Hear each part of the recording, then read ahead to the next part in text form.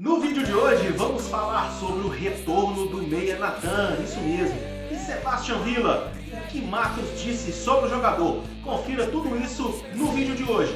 Mas antes, pessoal, vou pedir você que se inscreva no canal e acione o sininho das notificações. Isso é muito importante para o canal Webcam e para você também. Porque toda vez que tiver um vídeo novo aqui no canal, assim como esse, vai aparecer automaticamente para vocês. Não precisam ficar procurando notícia na internet. É só se inscrever e acionar o sininho. Bora pro vídeo! Esse vídeo é patrocinado por OneFootball. OneFootball é o melhor aplicativo de futebol do mundo. Lá você tem estatísticas de jogos, mercado da bola, tudo sobre o seu clube do coração e todos os clubes do mundo. Baixe agora o app. Eu vou deixar o link na descrição desse vídeo. A primeira notícia do nosso vídeo de hoje é sobre Sebastian Villa, atacante do Boca Juniors, que interessa ao Atlético.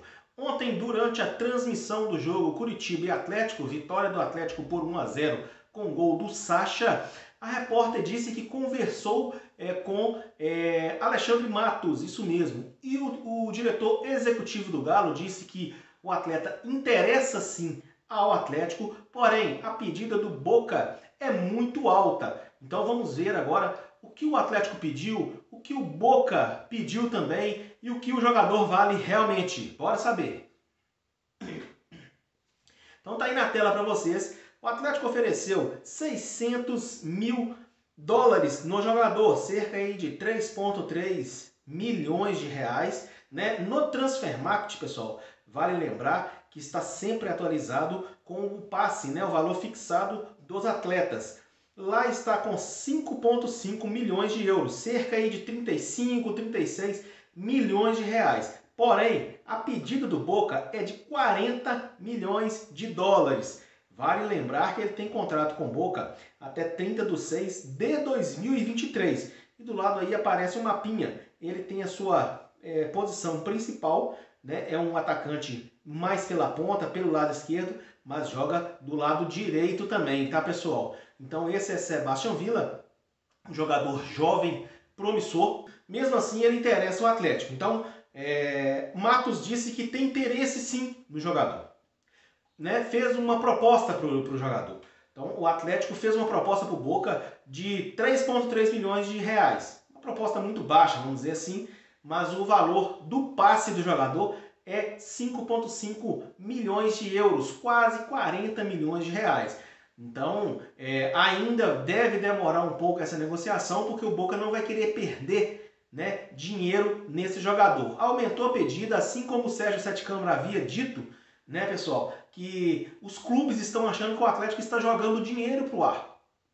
Dinheiro para o alto, né? E na verdade não é isso, né? O Atlético tem investidor, mas tem que fazer as contratações com os pés no chão. Outra coisa que pesa é a respeito do salário, né? O salário do jogador tem que se adequar ao salário do Atlético, que o teto do Atlético hoje é em torno de 500 a 550 mil reais por mês. Então, Sebastião Villa interessa sim o Atlético, foi feita essa oferta, o Boca recusou e fez uma contraproposta muito alta e os valores ainda estão é, flutuando muito, né? Os valores estão muito diferentes do que o Atlético pediu e do que o Boca quer, né, pessoal? Mas e você? O que, que você acha sobre Sebastião Villa no Galo? Deixa a sua opinião nos comentários. Não se esqueça disso. Então, bora saber agora sobre o retorno de Natan.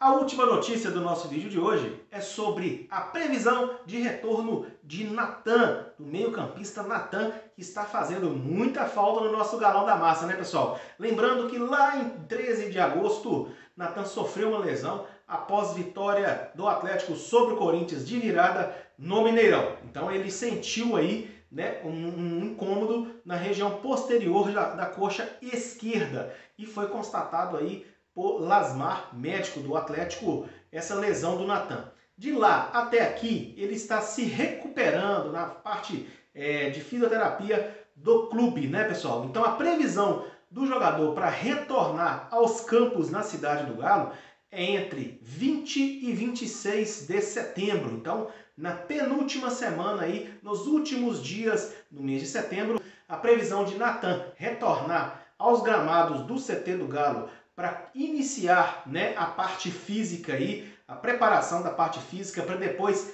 é, se juntar ao elenco do Atlético e quem sabe aí no início de outubro Natan já consegue retornar aos gramados e defender o nosso galão da massa. Isso é uma boa notícia, né, pessoal? Natan que está desde agosto, como eu disse, lesionado, então o Atlético sentiu muito a falta desse jogador, que era o artilheiro aí, né? Ele deixou o Atlético quando é, estávamos aí é, numa crescente com Jorge Sampaoli, o jogador também marcando gols, dando passes, né? Ótimo posicionamento dentro de campo e a previsão de Natan retornar aí para preparação da parte física, então é na penúltima semana de setembro. Quem sabe hein, em outubro já teremos Natan nos gramados, dando aí aquela força para o nosso galão da massa, porque nós estamos precisando de você, viu, Natan? Então, pessoal, esse é o nosso vídeo de hoje. E se você quiser ficar muito bem informado sobre tudo que acontece no Galão da Massa, se inscreva no canal e acione o sininho das notificações. Obrigado por acompanhar o vídeo até o final. Forte abraço, aqui é Galo. Fala aí, massa atleticana! Seja bem-vindo ao canal Webcam. Eu sou Mauro Luciano. Então, antes da gente continuar esse vídeo, se inscreva no canal e acione o sininho das notificações. E